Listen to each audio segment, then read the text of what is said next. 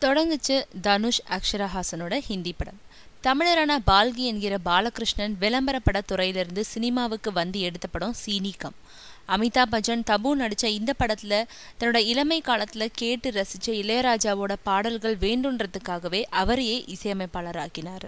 விரும்பினது மாதிரி இளையராஜாவோட பழைய பாடல்களோட டியூனை பயன்படுத்தவும் செஞ்சாரு. இந்த படத்தோட மூலமா ஹிந்திக்கு போன இன்னொரு தமிழ் திறமை பி சி ஸ்ரீராம். பால்கியோட ரெண்டாவது படம் பா.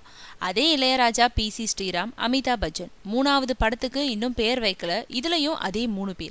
கூடுதலா தனுஷ் அக்ஷரா ஹாசன். இயக்குனராகும் கனவுல பல படங்கள்ல உதவி இயக்குனரா அக்ஷரா பணிபுரிஞ்சாங்க.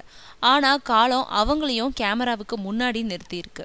முதல் படத்துல அக்கா ஸ்ருதி ஹாசனுக்கு கிடைக்காத லக் தங்கைக்கு கிடைக்குமான்னு பொறுத்திருந்து தான் பார்க்கணும்.